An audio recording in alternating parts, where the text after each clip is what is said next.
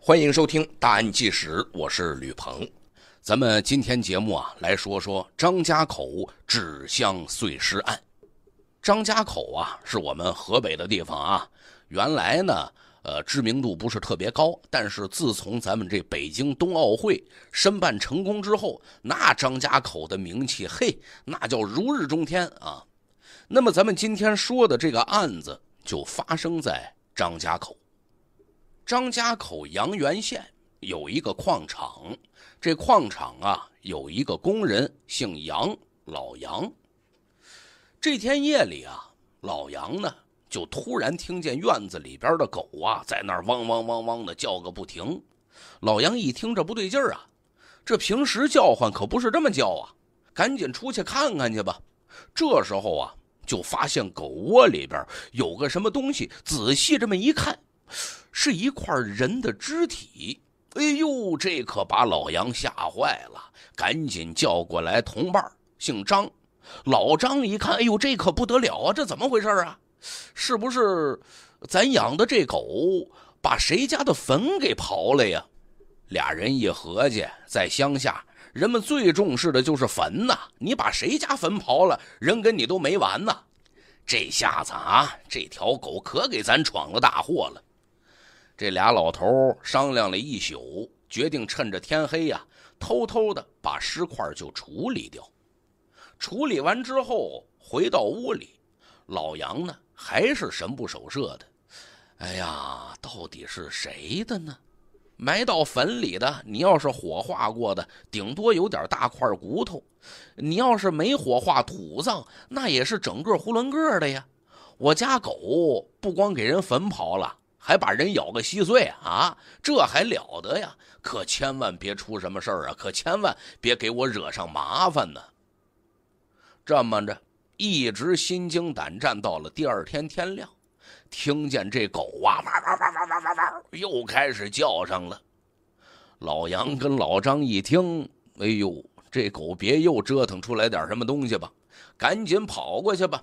发现屋后边的沙土堆下边啊。有一个被狗刨出来的纸箱子，这纸箱子里边打开这么一看，嘿，又是一堆尸块。老杨跟老张吓得呀，这时候他们也意识到不对，这肯定不是刨的坟，这尸块明显就是被装在这个箱子里的。这要是正常下葬的，不可能把人往箱子里边装啊！赶紧报警吧。警方接到报案之后啊，第一时间就赶到现场进行勘查。以矿场为中心，警方呢就进行了地毯式的搜索。看着这一箱尸块，摆明了这是杀人抛尸案呢啊！不过，到底是在哪儿杀的人？为什么要把尸体抛到这儿来？警方就推测，如果嫌疑人有车的话，那么他应该把尸体往北边运走。为什么呢？北边就是大山，把尸体扔了大山里边，那被发现的几率就微乎其微了呀。如果他不是开车，那么嫌疑人使用的交通工具很有可能就是摩托车或者是自行车，而他之所以在杀人之后碎尸，很可能也是因为运输条件的限制。这么一推测的话，嫌疑人的活动范围。不会很大，很快呀，警方就在距离矿场两公里左右的位置发现了一个编织袋。这编织袋里有一件女士的上衣，还有一颗人头。这颗人头是一个女性的人头，头发呀染的是黄褐色的，纹了眉毛，纹了眼线，打了耳洞。就光看这颗人头。这个死者呀，生前就属于那种挺洋气的。除此之外，警方还在死者肢体部位啊，就手腕部位，发现了一个很特殊的斑痕。外表上看呢，是六个眼儿，有点像是手腕上带着那种装饰品压的痕迹。通过初步尸检，警方就推测。这个女人的死亡时间至少在十天以上，可是民警啊对近期失踪人口进行查询之后，没有发现任何登记信息。那么，这个女人到底是什么人？为什么失踪了这么久没有家人报过案？警方第一步的工作重点就是寻找尸源，确定死者身份。于是，在全县境内发出了寻尸启事。没过多久，一个男的来到公安局了。他说：“呀，那个死者很可能就是我的女朋友小丽。那么，这个男的呢，姓孙，他呀，案发当年三十三岁。”跟女朋友小丽就住在阳原县旁边的一个小村子里边。多年来呀，这孙某呢是四处奔波，反正什么挣钱就干点什么，很辛苦。他打心眼里边啊，是真喜欢自己的女朋友小丽。在七年之前，俩人认识了，并且呢就谈起了恋爱。照理说，七年了，早该结婚生子了，但是啊，他们没结婚。为什么呢？因为临到结婚的时候，孙某已经想谈婚论嫁的时候，咱俩结婚吧，领证去吧。小丽突然告诉他：“不行，咱俩不能结婚。为什么呀？我我有丈夫啊！你有丈夫？这一下把孙某啊，那是震惊的五雷轰顶啊！然后啊，这小丽就跟孙某说。”我是偷偷从家里跑出来的，我还没离婚呢，所以我不能和你领证，领证了就犯重婚罪了。孙某一听，你怎么之前没告诉我呀？你为什么离家出走啊？啊，你原来你原来那个那个丈夫在哪儿啊？啊，你经历了些什么呀？可是小丽始终不愿意多说。既然她不愿意说，孙某呢也不忍心多问。尽管不是合法夫妻，但俩人呢还是生活在一起了。可是随着俩人在一起的时间越来越长，孙某就总觉得自己这女朋友那是深不可测啊，说的很多话，做的很多事情，让自己琢磨不透。这一天呢，孙某啊一大早回自己母亲家吃饭去了，他还问小丽说：“你跟不跟我一块去啊？”小丽呢不去。这么着，孙某也没强拉上他。孙某一直在自己父母家待到了晚上十点多，这才返回他们的小家。可回来的时候，发现小丽已经不见了。一开始啊，看小丽不在家也没多想，可是左等右等，等到快过了夜了，人还是没回来，他就觉得呀，这事情不太对劲儿。打小丽的手机吧。关机，人也找不着。无意之中，孙某还发现小丽的金银首饰全都不见了。小丽平时啊戴首饰不戴那么多啊，那天突然把所有首饰都戴上了。孙某就开始琢磨着：哎呦，是不是小丽又离家出走了呀？这也是为什么孙某发现小丽走了之后啊，半个来月的时间一直没报警的原因。因为他就想着肯定是小丽自己走的啊，是不想跟我过了。他就想着不是自己的，强留也留不住。直到看见了寻尸启事，他才发现，哎呦，这怎么这么像小丽呀？随后呢，警方啊提取了死者的 DNA，与孙某提供的生物检材进行了比对，经过鉴定，确认死者就是孙某的女朋友。小丽，小丽走的那天呢，不光是金银首饰都拿走了，包啊、银行卡呀都拿走了。孙某啊，尽管在外边打工很辛苦，可是一天也就是大几十块钱的收入。而小丽呢，别看什么事也不干啊，但是穿衣打扮特别的讲究。孙某就想着，她是不是在外边认识了别的有钱的男人了呀？啊，可能跟人走了吧。可这些情况跟警方反映之后，警方就怀疑，小丽带走的首饰就价值一两万，并且用的是苹果手机。那么，小丽会不会是因为侵财犯罪遇害了呢？在之前的调查之中啊，民警没有找到尸块周围有小丽的任何财物，是不是小丽真遭遇了抢劫呢？经过调查，民警发现，就在小丽失踪的当天中午，小丽的银行卡呀，果然有取款记录，取钱的正是小丽本人。据了解呀，小丽这个人呢，性格很张扬，别看经济条件不怎么样，没什么钱，但是特别爱炫耀，用手机必须是苹果啊，平时首饰那必须是真金白银，穿衣服必须是大牌儿。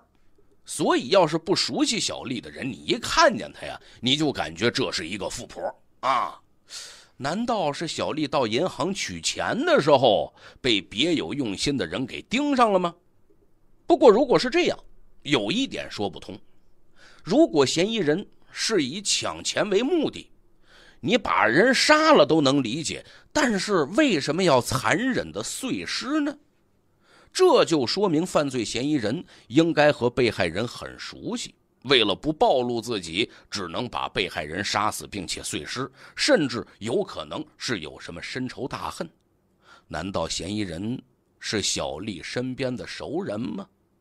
既然如此的话，是不是这个凶手叫小丽出去的？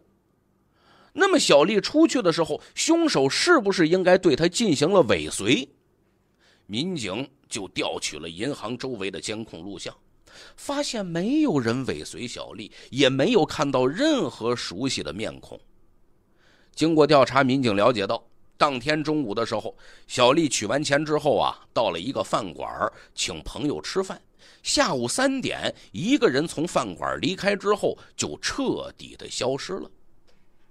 那么，小丽请的朋友都是哪些人？后来。小丽去过哪儿？又见了什么人呢？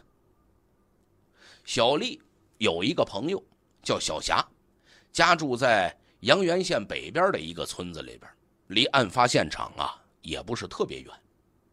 这个线索的出现，立刻就引起了警方的注意。在前期的工作之中，民警啊就分析过，嫌疑人碎尸之后，还把尸骨进行了掩埋，那么。被害人以及嫌疑人很有可能都与矿场附近的这几个村子存在着某种关联。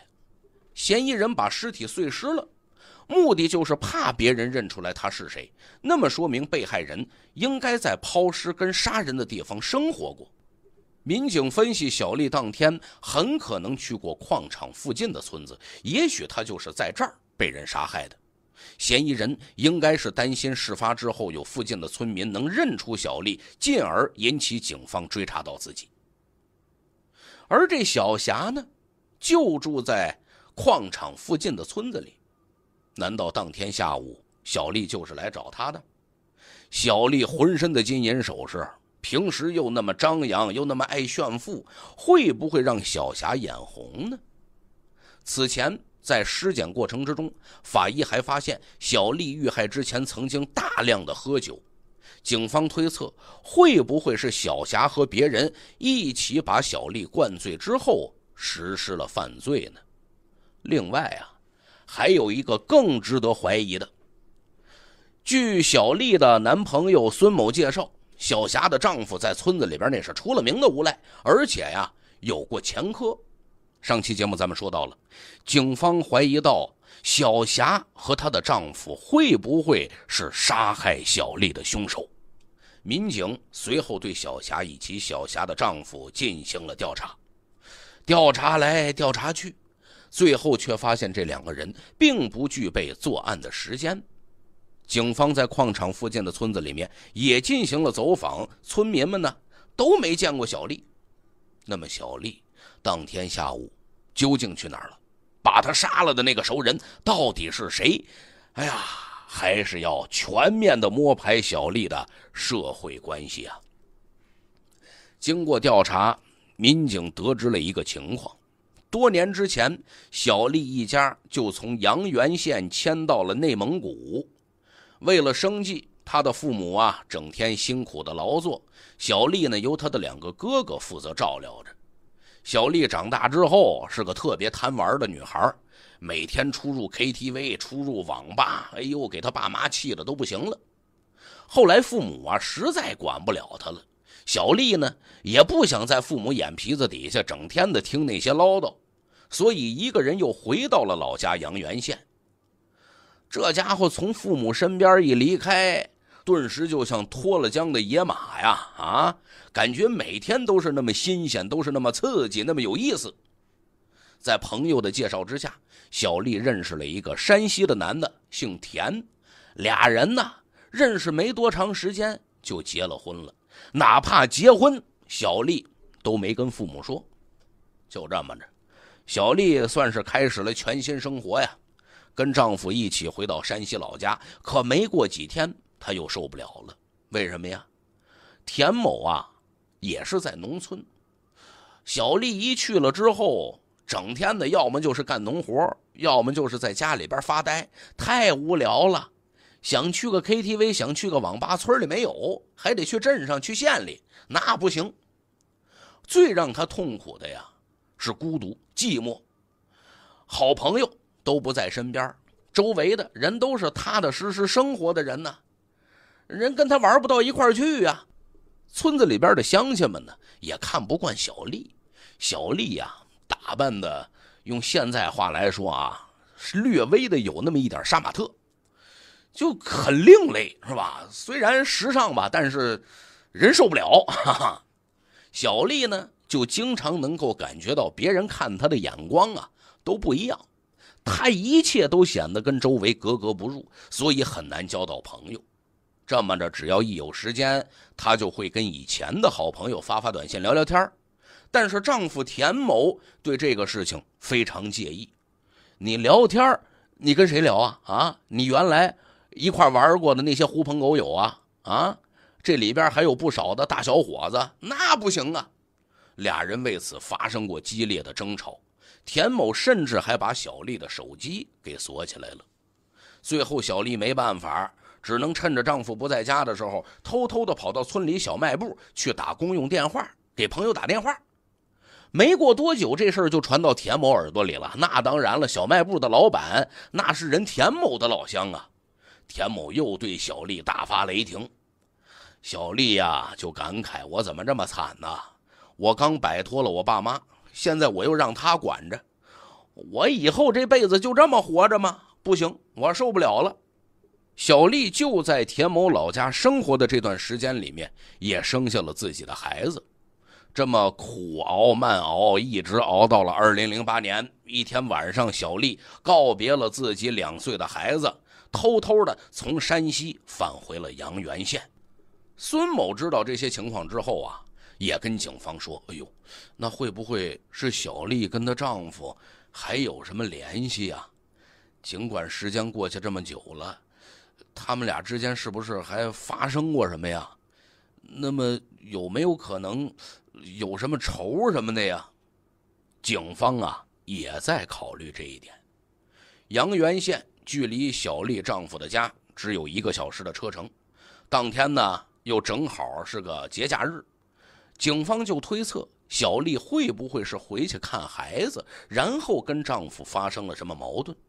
那么这天下午，小丽和田某究竟有没有接触过？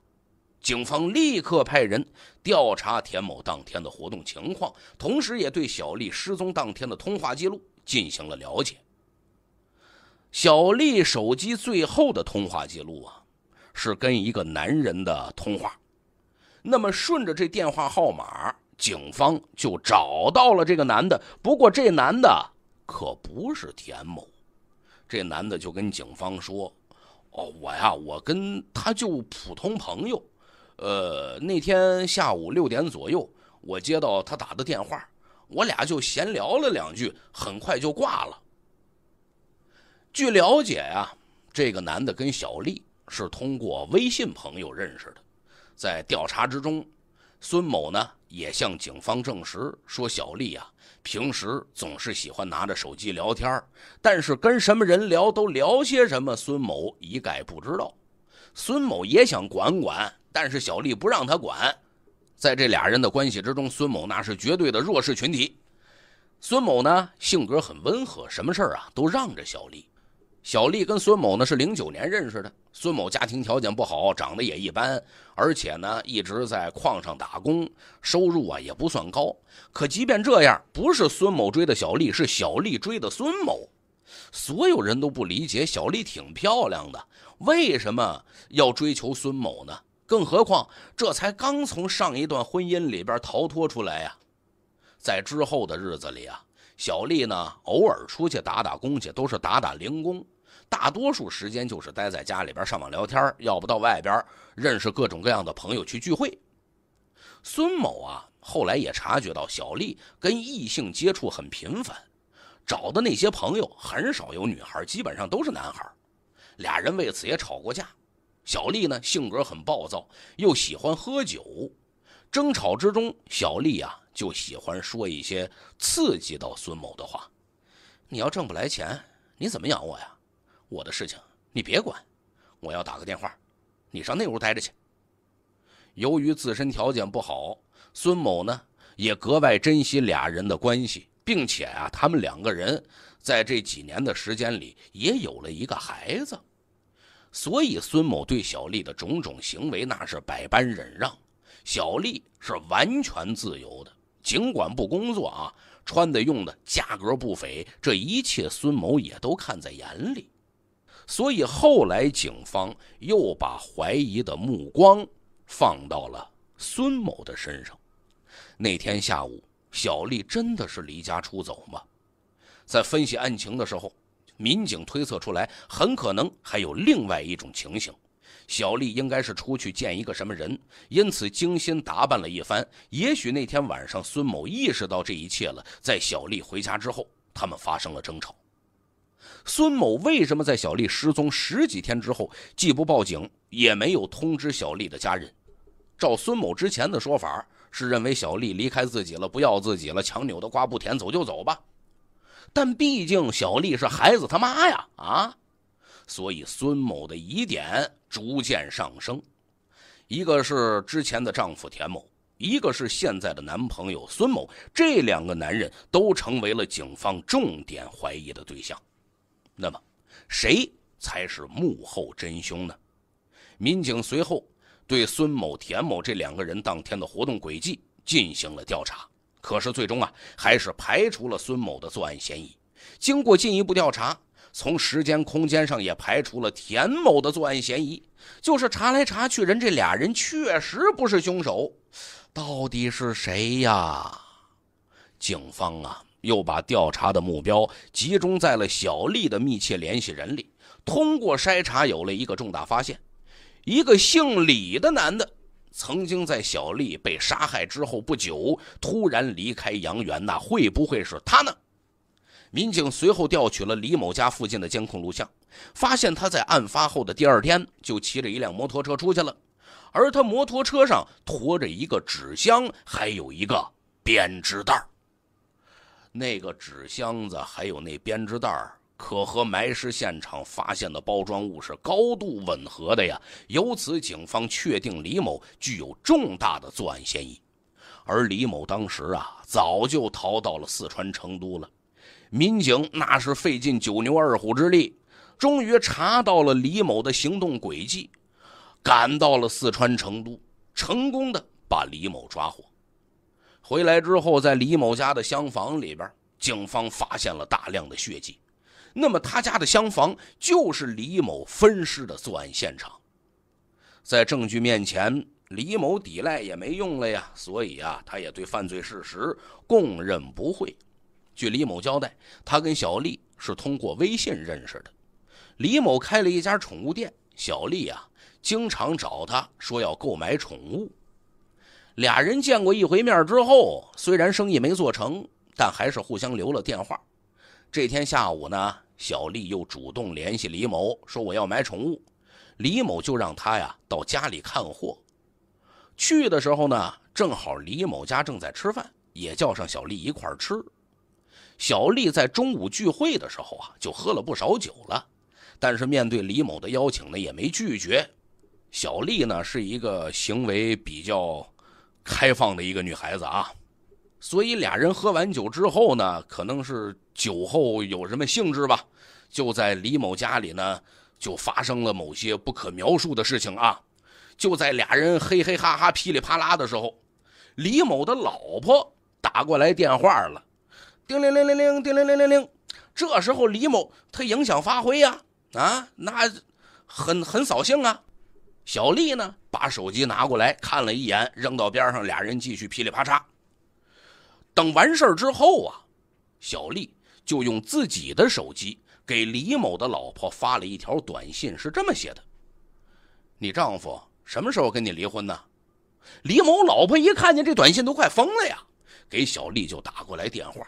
俩女人在电话里面吵的那是不可开交啊啊！小丽倒也是实话实说，知道刚才为什么没接电话吗？我俩那样了啊，你打扰我们了。挂断电话以后，小丽很生气，她呀就跟李某说了。我得到你媳妇单位去把事情当面说清楚了啊！小丽自己也不感觉不好意思啊，你来到人家里跟人的丈夫发生了不可描述的事情，结果你还要跟人的妻子去对峙去。小丽呢，后来还跟李某说了：“你以为老娘是吃素的呀？啊啊！刚才你玩完了，玩爽了就没事了呀？没完！气冲冲的就走出房门。”他就生气，李某的妻子不该骂他，刚才说话太难听了，我就得给他们搅和黄了。在院子里边，他打了一个电话，李某一听，感觉是小丽在找不三不四的朋友过来帮忙解决这个事情。李某啊，也没听清楚小丽对对方说了些什么，他怕小丽真带人去找自己老婆闹事儿去，情急之下。李某就从屋子里边拿出了一根电线，从背后就勒住了小丽，然后在院子里边把小丽就给碎尸了。第二天白天，跟朋友借了一辆摩托车，把尸块分两次扔到了县城的两个方向。据李某说呀，他跟妻子是青梅竹马，小时候就是特别好的朋友，一直到长大成人就没分开过，俩人的感情非常非常的深。他说：“我老婆十七岁就跟着我了，我一无所有，我岳父岳母不同意，但我老婆顶着压力跟着我。”被逮捕之后，李某多次向民警提出想再见一见自己的妻子，希望能够当面向妻子道歉。可是，从李某酒后失控的那一刻起，整个事件就演变成了一场彻头彻尾的悲剧。如果没有酒后冲动的性行为，也不会有之后的事情，更不会有后面的妻离子散、家破人亡。咱们今天要说的这案子呀，发生在贵州啊。二零一零年二月十四号一大早上，贵州省六支特区白岩村的一位村民叫周永国，大早上也吃完早饭了，他呢就准备。把这剩饭呢拿出去喂家里边养的几条狗，可是周永国一走出房门，那几条狗不跟平时似的。平时一到这点儿，看周永国拿着东西呢，那得赶紧跑过来呀，在那抢吃的呀。可这回呀，这几条狗根本没理这茬，好像在那儿撕咬着什么东西呢。周永国纳闷啊，我没给他们喂吃的呢呀。他们吃什么呢呀？走近了这么一看，哎呦，这可把周永国给吓坏了。这几条狗啊，正在那儿撕咬的，是一只断掉的人手，就除了一只手，还有一截胳膊。当时周永国一看，冷汗歘就出来了，那肯定是自己这几条狗闯了祸了呀！是不是跑出去？把人家的手给咬断了呀！赶紧上去，把这狗啊又打又骂啊，从这狗嘴里边抢下来了这一截断手。这时候周永国呀，心里边呢也不踏实，这万一人找上来被发现了，我不得赔人家钱呢？所以周永国呢，把这手就扔进了自家后院的一处土坑里边。那土坑特别的深，这么做就是为了逃避责任。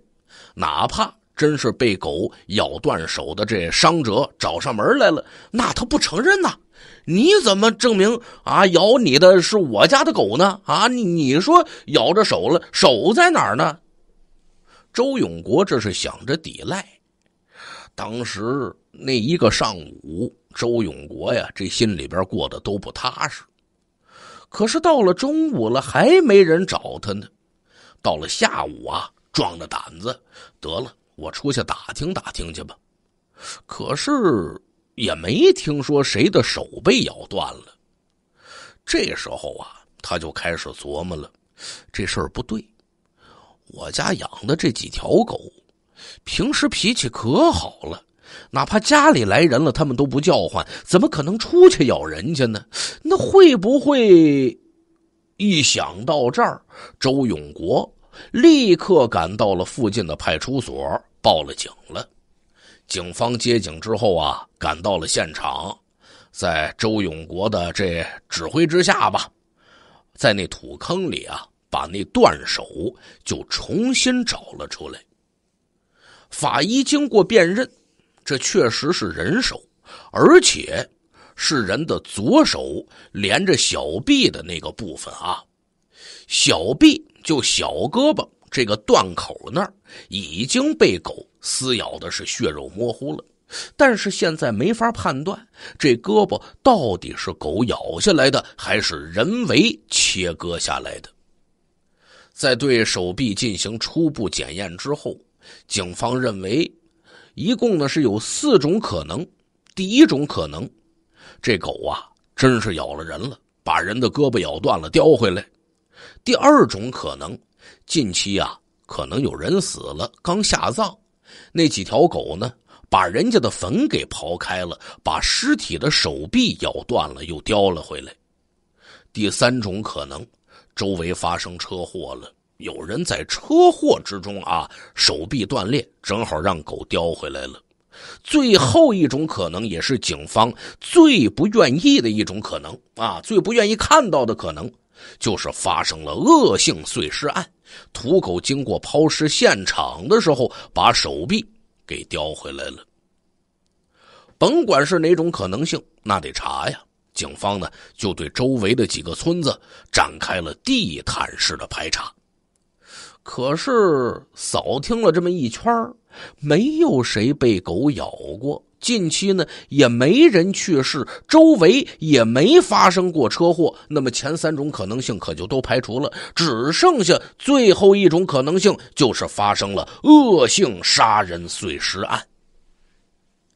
现在很可能是碎尸案呢，那么当务之急就是得找到抛尸现场，把剩余的尸块找齐了，拼凑出来，最后再确定死者身份。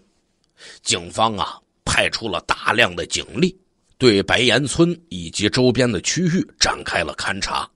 可是这一找找了好几天，始终没发现其他的尸块。就在这时候啊，有一位民警突发奇想，人家这一招真是高。之前这断手不是周勇国家养的一条土狗叼回来的吗？那把他家这土狗啊，再饿上一天。饿了之后，饿极了，他肯定还得去那抛尸现场，因为他知道那儿有肉吃啊。那么他一去，不就能够找到这个地方了吗？当然，这事儿能不能这么干，你得看人周永国同意不同意。民警跟周永国这么一说，周永国表示愿意配合。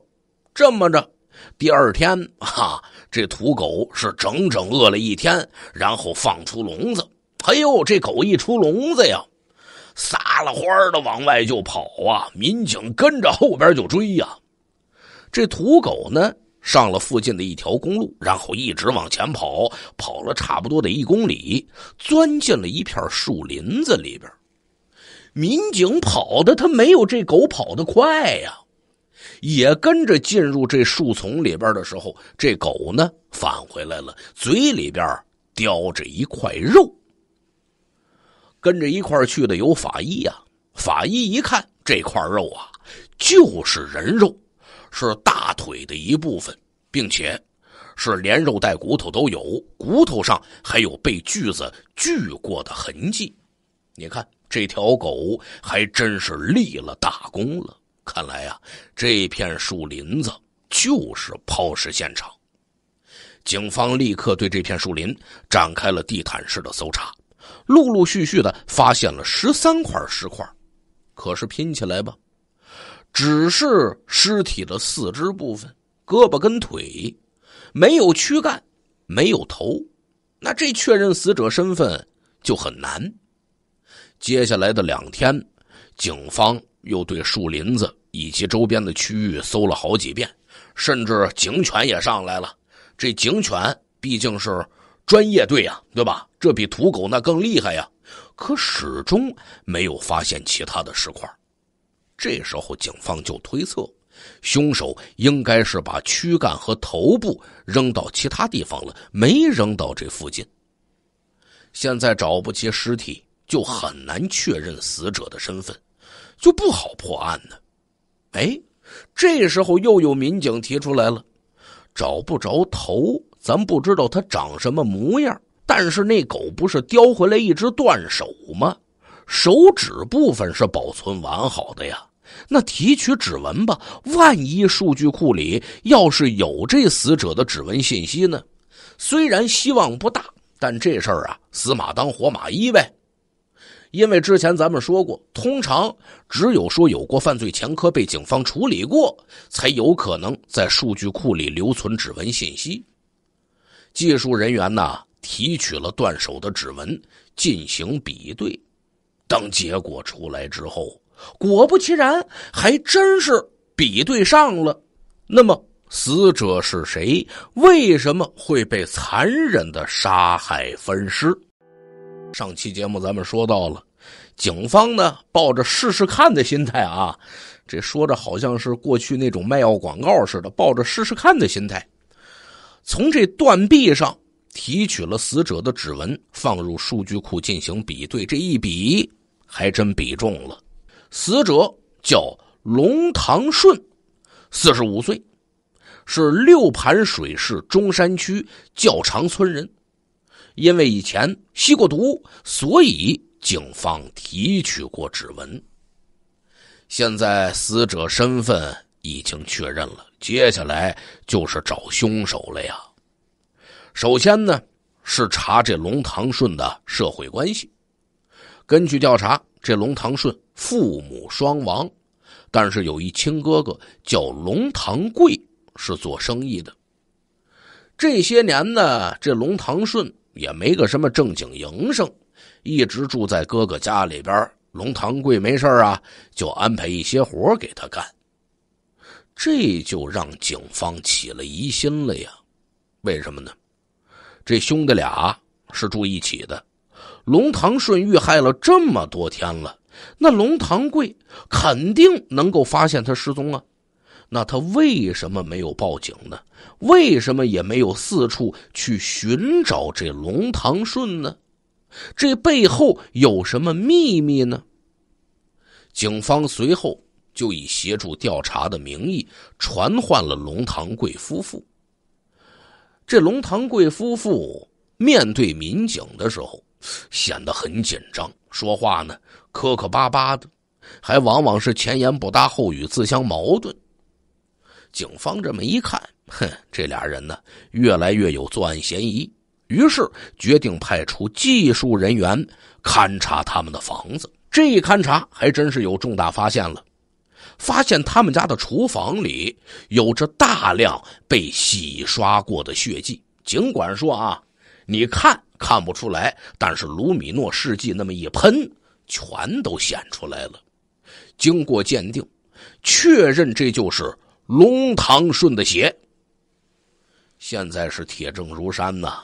你再说不知道龙堂顺失踪怎么回事那说不过去了呀！你厨房里边那么多龙堂顺的血怎么来的呀？龙堂贵夫妇啊，实在没办法了，只能承认是我杀了我的弟弟。那么他为什么要杀掉自己的亲弟弟呢？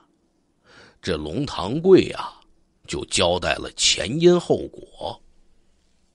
这龙堂顺呢，本来呀也是踏踏实实过日子的。但是呢，他跟前妻结婚之后，始终啊生不出来孩子。在村子里边啊，人们也喜欢说三说四的闲言碎语的，人们就说：“哎呦，这唐顺有问题吧？”这龙堂顺呢，就感觉受了刺激了，把他的媳妇儿啊踢里哐啷的打了这么一顿，人媳妇儿也不跟他过了呀，这哪受得了啊？啊，这再过下去，不定哪天命都没了。俩人就离婚了。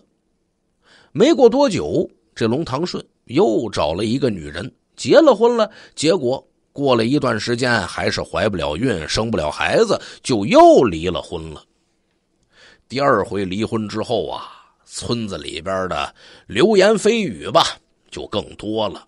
你看，找俩媳妇儿都生不了孩子，嗨，就是他龙堂顺有毛病。这么着，龙堂顺他也影影绰绰的能听得见呢。后来就跟变了个人似的。也不务正业了，交了一群狐朋狗友，在这些狐朋狗友的带动之下，还染上了毒瘾，曾经被抓起来强制戒毒去了。哥哥龙堂贵看见弟弟现在活成这样了，心里边着急呀，他不忍心看见弟弟再这么沉沦下去了，于是啊，就跟弟弟龙堂顺说：“堂顺，你啊。”搬过来跟我一块住啊！没事的时候，你去我厂里边干干活去。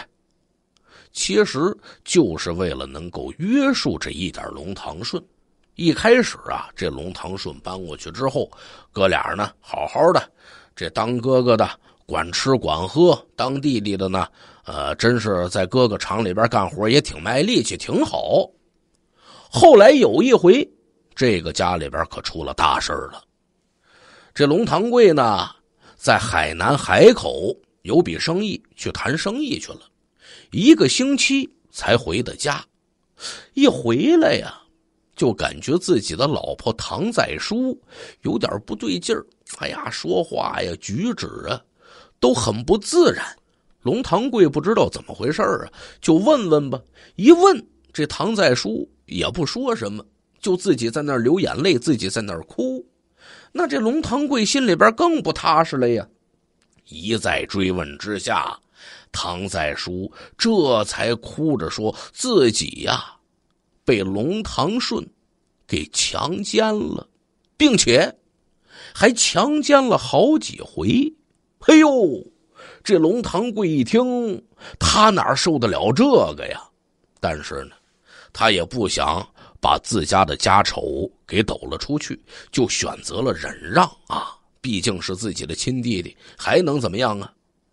可是哥哥越忍让，这弟弟龙堂顺呢越不是东西，越变本加厉，越来越过分了。甚至啊，在家里的时候，当着自己哥哥的面就调戏嫂子。二零一零年二月十一号，龙堂贵呀，正在家里楼上。看电视呢，突然就听见他老婆唐在书玩了命的在那喊救命呢。龙堂贵一听，赶紧就冲下楼了。这时候啊，就看见在沙发上啊，这龙堂顺已经把自己老婆给压在沙发上了，强行的拽他老婆的裤子呢。龙堂贵气的呀，啊，这太嚣张了呀，太不是玩意儿了呀！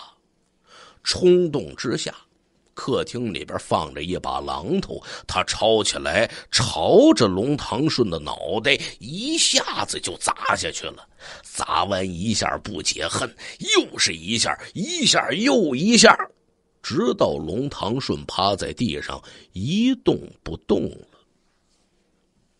把这龙堂顺打死之后，龙堂贵也慌了神了，毕竟是杀了人了呀。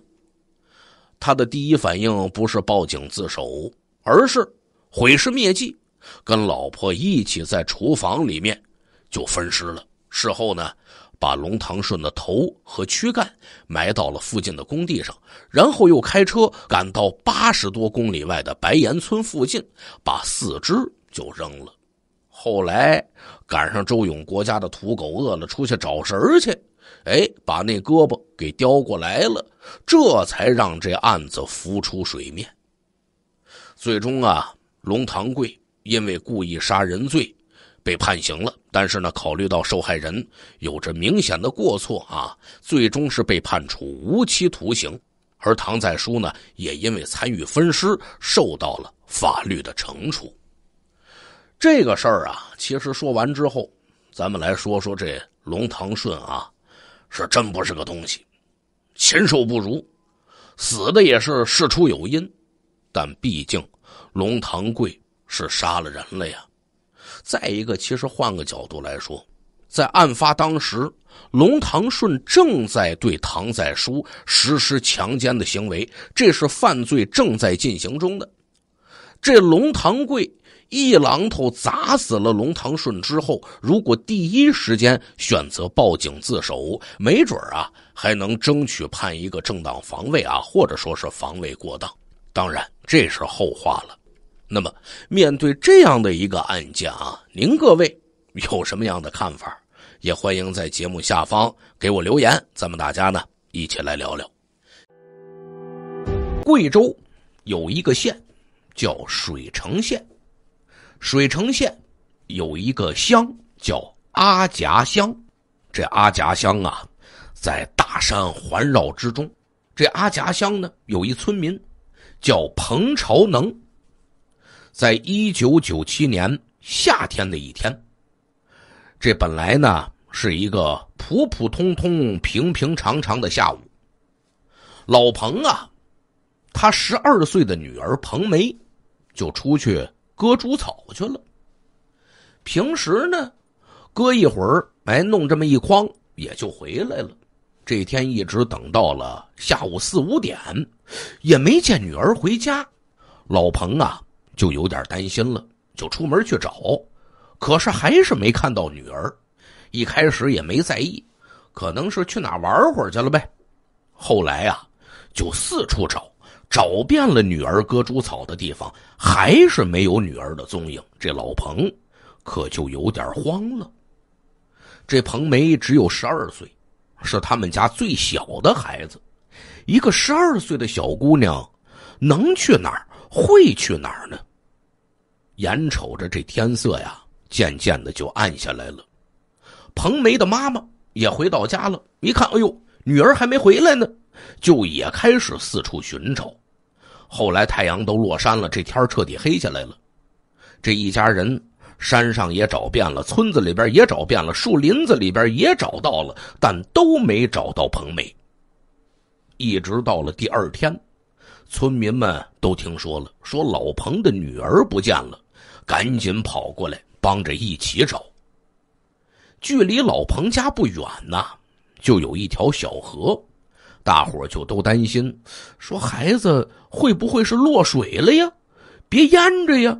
有人呢，甚至拿来了那长竹竿大伙在河里啊，恨不能翻了一个遍，还是没有任何的收获。眼瞅着一周的时间可就过去了，还是没有彭梅的消息，这摆明了彭梅是出了事儿了呀！老彭夫妇俩呢，一直不敢往坏处想。但是，这眼瞅着一个星期了，彭梅也没回来，那不可能不往坏处想了。到第八天，老彭啊，这不祥的预感果然成真了。在离家几百米之外的一条河沟边上，人们发现有大量的蚊虫，除此之外，还有剧烈的恶臭味随后啊，大家在河沟边的草丛里。发现了两样东西，一个是装东西的围腰，还有一把镰刀。这镰刀和围腰，老彭是再熟悉不过了，因为彭梅离开家打猪草的时候带走的就是这两样东西。哎呦，老彭站在河沟边上就感觉脑袋嗡嗡直响啊！很快，河沟边一个山洞里面，大家发现了一具尸体，这具尸体。正是老彭的女儿彭梅。报警之后，贵州省水城县警方很快就赶到现场了。因为当时呢，正值夏天，经过一周的时间，尸体已经高度腐败。经过法医尸检鉴定，彭梅是遭受钝器打击之后，颅骨骨折而导致死亡。由于现场已经被破坏了，警方也没发现有用的线索。警方首先就怀疑这女孩是被人抢劫了，可再一想也不对呀，谁去抢劫一个小女孩呢？身无分文呢？抢什么呀？抢她打的那点猪草？那满山遍野都是啊！那不是抢劫？会不会是被强暴了呢？法医随后通过尸检也排除了死者遭遇性侵的可能性。第一，没有遭遇抢劫；第二，没有受到性侵。那么，到底谁会对一个十二岁的农家女孩下这样的毒手段呢？警方的侦破工作一直也没有突破，没有进展。老彭夫妻俩呢，每天也是备受煎熬，就这样一天一天的数日子，一转眼十六年可就过去了。老彭啊，这十六年来，无时无刻的不在想自己的女儿，他想尽了各种办法，想要找到真凶。当地的公安机关对这起案件也很重视，每年都会重新的拿出来，重新的分析，重新的侦查。但是线索太少，这起案子一直是一桩悬案。直到十六年之后，二零一三年的七月份，在距离贵州两千多公里之外的江苏省海安县，发生了这么一件事那天呢，是七月二十三号中午。这天儿啊，特别的热。江苏南通市海安县李堡镇的村民冯三，正在家里边打扫卫生呢，就发现有一小伙子从窗外直接就走到了他家大门口，随后伸手把大门就拉开了一条缝，把头可就伸进来了。这时候啊，这头伸进来，正好目光就对上了冯三的目光，冯三。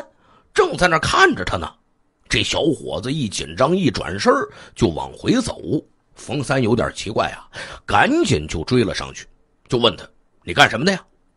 这小伙子就说：“呀，我我来借个东西，呃，有没有挖芋头的那个铲子呀？”冯三一听，这说的不是当地话呀，因为我的爱人啊。是南通如皋人，跟海安呢是紧挨着的。海安方言跟如皋方言差不多。反正我这结婚快十年了，现在每回回到我老婆老家，听到大伙在那说话啊，我还是一句听不懂。所以要是外地人说话，那是非常容易辨别的。冯三呢也不认识这小伙子，但是这小伙子一口咬定就是借铲子挖芋头。这让冯三心里边就起疑了呀！一个外地人怎么会到这儿来挖芋头呢？你挖芋头吧，他铲子也不好挖芋头啊，而且当时他也不是挖芋头的季节呀，他也没长好呢呀。见这冯三起了疑心了，小伙子呢也不解释了，那越说越错呀，转身快步就走，就往那玉米地里边走。那个地方呢也没路。冯三就更觉得可疑了，在后边紧追不放。一番你追我赶之后，冯三最终还是在玉米地里边把这小伙子给抓住了。可让冯三没想到的是，这小伙子呀，吭哧一下可就跪下了，掏出来四五百块钱递给冯三：“我给你，你放我走吧。”这一下把冯三都搞糊涂了呀！这这这怎么回事啊？啊，这哦，我这我这没铲子，没没法借给他。他还给我好几百，那摆明了有事儿啊！没等冯三反应过来，小伙子一把扔下钱，撒开腿，朝着玉米地的深处可就跑了过去。冯三赶紧又追上去，这回啊，冯三一边追一边大声的喊叫。附近的村民听到之后都赶过来帮忙。十几分钟，大伙呼啦朝一块把这小伙子可就摁倒在地上了，还报了警了。两分钟以后。警察赶到了现场，小伙子呢就被带到了派出所。民警从他身上搜出来了一张银行卡和一张当地超市的购物卡。小伙子说：“呀，这两张卡都是他捡来的。”到了这派出所，这小伙子说：“我叫王静海，我是贵州省水城县人。那你多大了？我三十三了。身份证呢？我没身份证，因为我从小啊一直在外边流浪，一直没办。这个自称叫王静海的人说了，他到冯三家里边，确实是想偷东西，但是被冯三发现之后没敢偷，这不转身就跑吗？更让民警意外的是什么呀？民警还没问其他的事儿呢，王静海竟然主动招供，说我呀进过好多回看守所了。我我我我没有什么问题的，我我在全国各地跑，很多派出所都都都查过我，呃，但但但我没大问题，我就是小偷小摸的。王静海的这种坦率，就引起了民警的怀疑了。我也没说你犯过什么大事啊，为什么一直强调自己没有大问题呢？民警觉得，刚一问询就能主动交代自己之前犯过的事儿，要么这是新手。啊，干坏事干的少，要么就是老奸巨猾、欲盖弥彰，这是老手。这嫌疑人交代的呀，都是一些小偷小摸的问题。那么这背后是不是还有更大的隐情呢？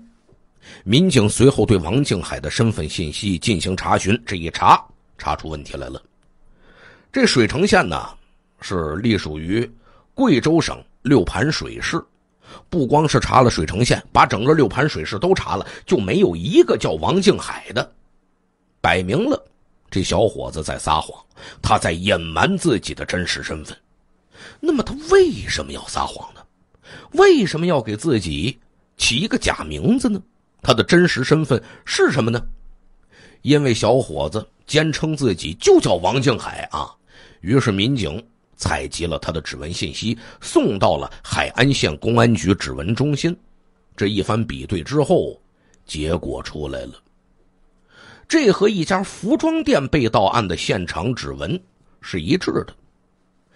这起案子呀，是发生在一三年，也就是当年的二月三号，在李堡镇临街呢，有一卖衣服的商户。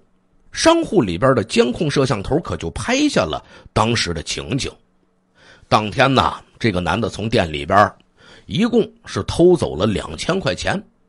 从样貌特征来看，这个男的和警方抓获的这王静海还真是非常一致。而且当时那个小偷还在现场留下指纹了，这些指纹也和王静海指纹完全一致，说明那个案子就是王静海做的。不出警方所料，警方啊把那起案子的那个监控录像给王静海看了一眼。王静海一看，立刻就招认，没错，那那那那那是我干的。哎呦，这嫌疑人也太爽快了呀！你问什么人家都答应啊啊！你问什么案子人家都承认呐。正是他的这种爽快，就让警方意识到不对劲儿了。他这背后是不是隐藏着什么更大的秘密呢？那么，到底这个人的真实身份是什么？他跟彭梅遇害有没有关联呢？上期节目咱们说了，警方啊把这王静海抓住之后啊，一对比指纹，就发现还跟一个服装店被盗案有关。把这服装店的那个监控视频拿给这王静海一看，王静海可爽快了。对对对对对对，那是我干的啊，就就就是我干的。他的这种爽快，就让警方觉得这嫌疑人没那么简单。因为嫌疑人在那个服装店盗窃案里偷钱的时候，那个老道啊，那个从容啊啊，这一看这就不是一回两回的，这是一老手啊。警方就又问他：“那你还犯没犯过别的事啊？”果然，他又交代了一件事他说：“呀，二零零五年因为盗窃，他在广州被判入狱一年多。”警方就分析着，如果这个王静海说的是实话，那么广州方面肯定。留下他的相关信息了，马上联系广州警方，得知这个人二零零五年因为抢夺，确实在广州被判处有期徒刑一年九个月。但是广州警方反馈回来一条消息，说这人他不叫王静海呀，他叫田军呐。你看，短短不到一天的功夫啊，他在海安警方这儿说自己叫王静海，当时跟广州警方说他叫田军，就这么短短的功夫，俩名字了。现在呢，在海安这是盗窃案的嫌疑人，可是，在广州那儿曾经他犯过抢夺案呐。那么他的真实身份是什么呀？为什么要百般抵赖呀？他藏着什么秘密呀？就在海安警方这边加紧审讯的时候，咱们再说回两千公里之外贵州的大山里边，失去女儿的老彭啊，还是沉浸在内疚思念之中。不明不白的，十二岁的女儿，就这样突然被人害死了。老彭这十六年来过得不容易呀，每天都煎熬啊，想孩子想的都快发疯了。更让老彭难过的是什么呀？女儿小时候，一家三口有一张照片，那照片上，呃，这彭梅呀还是在怀里抱着呢。还有一张照片呢，是女儿跟同学的合影。除了这两张照片之外，再也找不到女儿的照片了。想看看女儿，都没地方看去呀。从彭梅出了事之后，这老彭整个人都变了。原来呀。那是精神抖擞、勤勤恳恳的，可是女儿出事以后，整天的就是在那儿喝酒，昏昏沉沉的。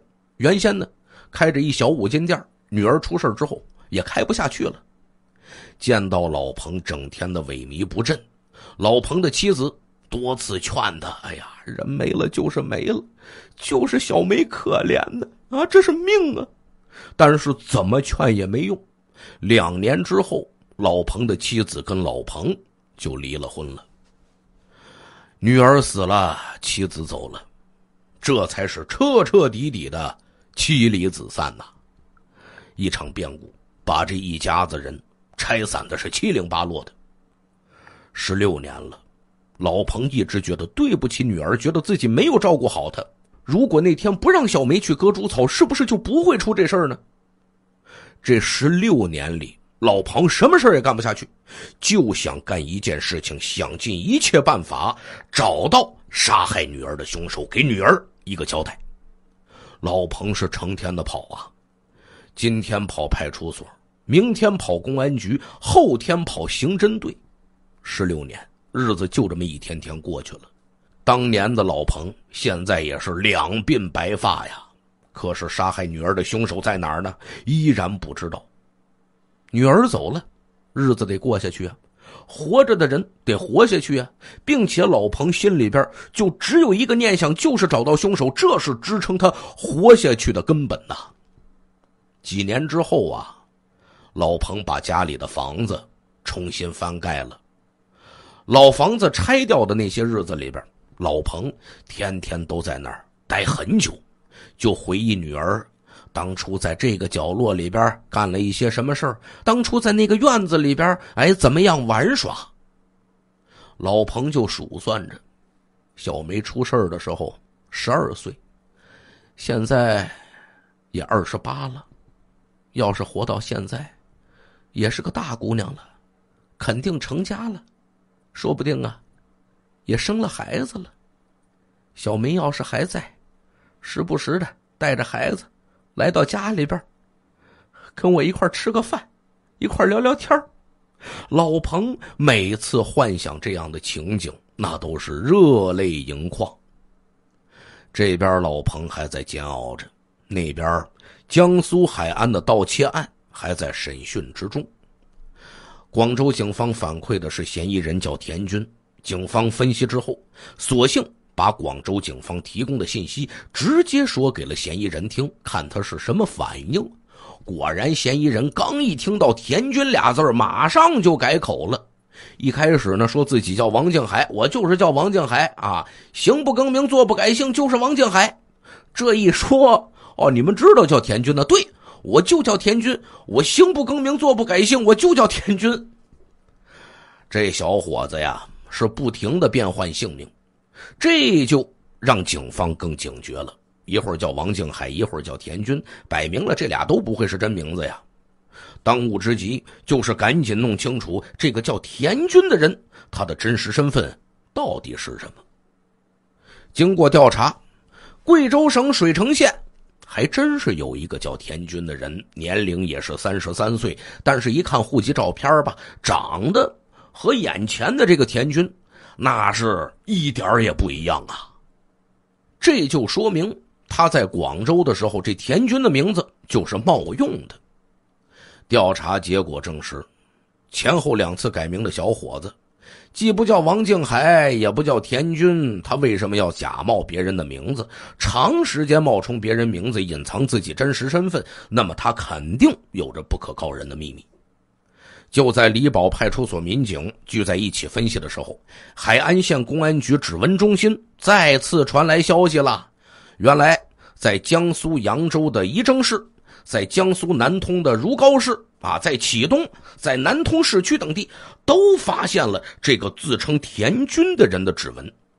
在指纹库里啊，嘿，这一枚指纹比中了十二起案件，都是盗窃案，并且都是发生在二零一三年，都是在三月到六月这一段时间，短短三个月的功夫，各地流窜作案十二起。在每一个案发现场还都留下指纹了，那就都是他一个人干的呀。这情况是越来越复杂了。案件迅速汇报到了海安县公安局。当时海安县公安局的局长姓葛，这葛局啊，对案情分析之后就发现，这嫌疑人作案的时候，跟好多盗窃案的嫌疑人不一样的地方在哪儿？他不戴手套。所以每个现场都留下指纹了。第二个呢，他从来不戴面具，也不戴面罩，有摄像头有就有呗，啊，大大方方的拍吧，我就长这模样。第三就是作案的时候太从容了，由此葛局就认为这人呢，他毕竟是个老手，你说新手不注意对吧？不戴手套让人发现指纹了，啊，这不戴面罩让人拍下来长相了。让人抓着了，那他第二回作案的时候，你不得有点经验教训吗？是吧？你不得把这些道具准备齐全吗？他为什么一次又一次的这么坦然呢？到底他的身上隐藏着什么呢？这就说明这个人呐，他不是傻，他也不是笨，这是一种很强的反侦查意识，这就叫做避重就轻。我凡是暴露的。都是你们看上去小打小闹、小偷小摸的案子，你真是判我，你也判不了多长时间。经过分析啊，民警决定从嫌疑人捡来的那张银行卡入手吧。通过查询，这张工行卡的卡主是一个叫郭全会的人，开户地点就是贵州省水城县。警方随后又查询这个郭全慧，结果显示郭全慧。女性，五十一岁，贵州省水城县阿夹乡人，在家务农，而且银行的交易记录显示，这一段时间这张银行卡在江苏南通的交易非常的频繁。这卡主五十多了，普普通通农村妇女，并且离着那么远，他怎么可能跑到南通这边大量的消费呢？既然郭全会的银行卡在嫌疑人身上。这张卡也从来没报失过，还在南通有着非常频繁的交易。如果这张卡真像嫌疑人说的是捡来的，那么卡主人不可能丢了卡不挂失啊！啊，你这手机短信一个劲儿的在那儿，一会儿这儿消费二十，一会儿那儿消费五十，你不挂失那不可能。所以警方判断这嫌疑人和郭全慧一定是有关系。于是，民警马上查找郭全会的社会关系，结果发现郭全会一家四口人，除了夫妻俩和大儿子之外，还有一个小儿子叫季少刚。巧合的是，这季少刚和警方抓获的嫌疑人一样，都是三十三岁，也都是贵州省水城县人。当时，民警就怀疑这嫌疑人呐就是季少刚。可遗憾的是。当时人口信息网上没有季少刚的户籍照片那这俩人到底是不是同一个人呢？该怎么查呢？眼瞅着天色渐渐暗下来了，民警们聚在一块从俩人的长相上啊就分析啊，这郭全会长什么模样哎，这小伙子长什么模样？这俩会不会是亲属关系？他是不是他妈？他是不是他儿子呢？分析来分析去，哎呦，眉眼之间长得还真是挺像的。嫌疑人很可能就是纪少刚。但是在整个审讯过程之中，这个人呐，神情自如，面对警方，人家一点不紧张，始终面带微笑。回想整个审讯的过程，警方就发现。就是每次提到父亲、母亲的时候，嫌疑人会若有所思，这就证明他的内心是渴望亲情的。警方啊，决定用一个新的招数，到底是什么新招数呢？这一次能不能让嫌疑人彻底的交代他的问题呢？上期节目咱们说到了，警方认为这个人很可能。就是郭全慧的小儿子纪少刚，但现在他也不承认呢。怎样才能确认他的身份呢？警方呢就想到了一个新的招数，把郭全会的照片打印出来，拿给嫌疑人看。如果郭全会真是他的母亲，那么嫌疑人看到照片肯定不会无动于衷的。果然，这一招见效了。警方注意到。嫌疑人看到郭全会照片之后，脸色唰的一下子就变了，整个人呢就愣住了、僵住了，也不说话了。警方知道这个时候的他思想斗争肯定很激烈。得了吧，咱也甭问他了，不打扰他，给他足够的时间让他考虑清楚。从这儿开始，几乎整个晚上，这嫌疑人一直不说话了，足足过了有七个小时，这天呐都开始亮了。当民警再次和他面对面的时候，嫌疑人呢，先承认了自己就是郭全慧的儿子纪少刚。随后他说了一句话，把民警啊都给问住了，让民警感觉百思不得其解，很震惊。他问的是什么呢？哎，老师傅，现在枪毙人用不用子弹呢？呃，是不是用针呢？当时民警一听，这怎么都问上死刑执行的事儿了？这里边有大问题，有大情况。还没等民警问他什么呢，纪少刚啊，又抖露出来一个天大的秘密。他说了，九七年的时候，我杀了同村的一个女孩。这番话让警方非常的意外，但民警还是觉得纳闷这家伙是不是又乱说呢呀？啊？给人的感觉就有点吹牛那个意思，就想着他是不是在耍什么滑头，转移警方的工作视线。可是他一再的说：“我确实杀人了，这十六年我一直隐姓埋名，逃亡在外。”案情重大，这是命案呐！江苏海安警方迅速和贵州省水城县警方取得联系，接到江苏警方电话，水城县公安局也很震惊。十六年来呀，年年查这案子，一直就找不着这凶手，终于是落网了。这个案件跨度时间很长，一直没侦破，凶手一直逍遥法外。因为一九九七年的时候啊，各种刑侦技术也不发达，呃，工作上来说呢，只能用发布协查，呃，比较粗放的这种工作方式来进行，所以说效果也不太好。但是这个犯罪嫌疑人十六年来，水城警方没放弃。水城县公安局说，就在案发之后的当天晚上，他们发现同村的叫纪少刚的年轻人不见了。案发之后，一直就消失在视线之外，失踪了。警方呢，就一直在找这个人，但都没见着，他也一直没回家。从死去的彭梅的同伴那儿。水城县警方了解到一个情况，说彭梅遇害的当天下午，彭梅曾经和这个纪少刚吵了一架，这更引起了警方的怀疑。警方呢，当时就找到了纪少刚的家，对他的家属做工作，但是纪少刚的父母是含糊其辞。由于家属不配合，警方手里也没有什么关键的线索，只能对纪少刚家进行暗中监控。之后，警方啊多次到了纪少刚家，但每回纪少刚父母一听是民警，那都紧锁大门，不见踪影了。就这样，十六年过去了，水城县警方一直寻找的纪绍刚，终于在江苏海安落网了。二零一三年八月十六号，贵州水城县警方赶到了江苏海安县，在海安县看守所里面，逃亡十六年的纪绍刚见到了来自家乡的警察，开始向江苏和贵州两地警方交代了十六年前那起惨案。十六年前的那个中午啊。当时只有十七岁的纪绍刚，跟小伙伴呢在河里洗澡呢。十二岁的彭梅不是出去割猪草吗？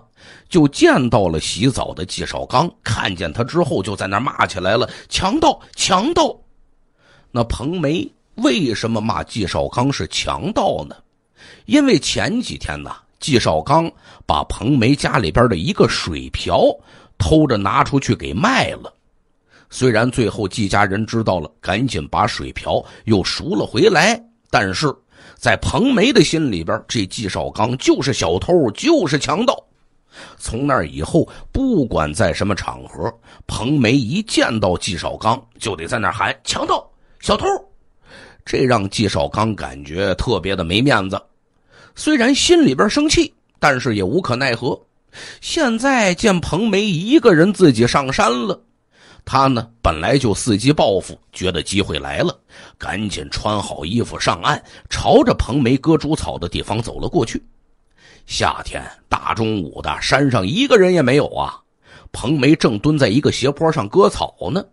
纪绍刚慢慢走了过去，走到彭梅身后，一把就推了一下，彭梅呀，一下就滚到旁边的水塘里呢。彭梅这个姑娘呢？脾气也是比较倔的，也不怕纪绍刚，还在接着骂纪绍刚呢。这把纪绍刚彻底激怒了。纪绍刚呢，三步并两步，奔了过去，捡起一块石头，朝着彭梅的头就砸了下去。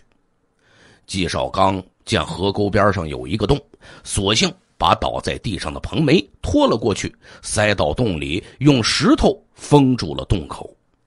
做完这一切。他也感觉害怕了，毕竟杀了人了，赶紧翻过山，爬上火车，连夜逃走了。这一逃就是整整十六年。十六年里，这纪绍刚多次更换自己的身份，一会儿叫王静海，一会儿叫田军，一会儿叫田亮。由于没身份证，也没法找工作，就是到处流窜，去过广东、福建、浙江、江苏等地。每到一个地方，也不敢住宾馆，他也没钱住宾馆。为了生存，一边逃亡一边盗窃，每回偷来的钱，除了买吃喝拉撒必需品之外，剩下的就都买彩票了，指望着万一中个大奖呢。由于钱来的容易，每回买彩票一出手都是几千上万的那么买。这十六年里啊，纪绍刚其实是很孤独的，离开家的时间越长，就越想家。他说呀。在这十六年里，偷偷的回过两次贵州老家，但害怕被警方发现，每回都是悄悄的回家看上一眼，又急匆匆的离开。除了父母之外，没有任何人知道纪绍刚回来过。而纪绍刚的父母对这件事情也是守口如瓶。最后一次离开家的时候，纪绍刚从家里拿了一张母亲的银行卡。之后有些偷来的钱，纪绍刚就通过这张卡寄回家里。他说呀，逃亡这十六年里，因为盗窃多次进看守所，每回被抓之后，他都对偷窃的事儿主动交代，都不用警察问，自己就招待了。这就让警方放松了警惕，所以他背负了一条命案。那么多地方的警察也一直没有深挖他背后的故事，这命案也就没有被发现。这个案子说完了之后啊，其实背后呃有一些挺有意思的法律的小知识点，包括犯罪心理的一些小知识点，可以跟大伙多唠叨两句啊。首先来说，为什么纪绍刚面对警方会主动的说自己十六年前的命案？其实十六年的时间呢，他这种心理压力从来没有消失过啊。这么长的时间里，他一直也在。承受着这种内心的煎熬，或者说是折磨吧。不有一句话是怎么说来着？是说一个人干了坏事了啊，呃，假如没有任何人知道，但是始终天底下会有一个人知道，这是谁知道呢？就是你自己知道，你自己的良心知道。那么十六年不断的逃亡，他也不敢回家。到这时候，又遇到了比较负责任的警察，又发现这警察开始刨根问底了。在这样追究的时候，他呢干脆就把事情坦白了。这一坦白呢，他的心理负担也就没有了。那么纪绍刚在最后量刑的时候，会不会判得很重呢？判处死刑呢？也不会啊，因为他有一些能够减轻量刑的情节啊。第一个情节呢，就是本身警方在讯问过程之中，他杀人这事儿不是警方已经掌握的，这是他自己交代的，所以这个情节算是自首。因为在法律上规定啊，当司法机关认定了一个罪名，好比说盗窃，然后进行侦查，了解了他的盗窃事实。可是，在审讯过程之中，他自己又主动的交代了第二个罪名，好比说纪绍刚交代杀人，那么掌握的是他盗窃的罪名，但是他交代了杀人的罪名。对于盗窃来说，他不算自首；对于杀人这个罪名来说，他是自首的。第二个能够减轻量刑的情节是什么呢？当时纪绍刚在杀害彭梅的时候是十七岁，没有到法定的十八岁的这个年纪。所以在量刑上也会考虑他的这个年龄。对于十四岁到十六岁的这个责任人啊，这个犯罪嫌疑人，你是要负刑事责任的。但是未满十八周岁的情况之下，会从轻或者是减轻处罚。第三个呢，就是因为这起案子过了十六年了，已经比较接近追诉期了。当然，也不是说到了追诉期之后再发现了杀人凶手啊，他曾经做过哪些案件，证据链完整就不处罚他了，那不可能。但是从司法角度来说呢，重点是打击现行犯。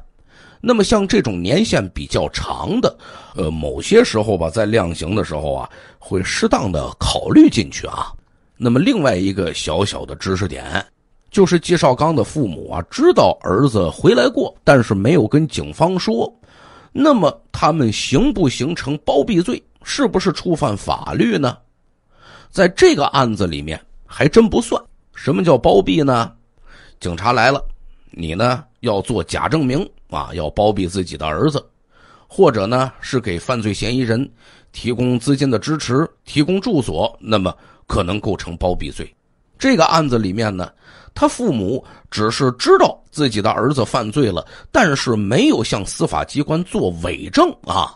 至于说资金支持吧，虽然说这郭全会的卡在纪绍刚那儿，但更多的是纪绍刚用偷来的钱打回到郭全会的这个卡里面啊，所以是反过来的，他们是花着纪绍刚的钱的。那么这个事儿呢，也不能说提供资金支持。所以，在这个案子里面，他父母的一些行为，呃，有的可能会表示理解，对吧？更多的，呃，也只能是道德上的一些谴责。纪少刚被捕之后啊，失去女儿的老彭，那是热泪盈眶，激动的说不出话来。二零一三年八月二十一号，这是彭梅遇害整整十六年的日子，已经离婚多年的彭梅的父母约好了，一起来到了。彭梅的坟前，行了，这个案子呀，咱们就说到这儿。更多内容，下期节目再会。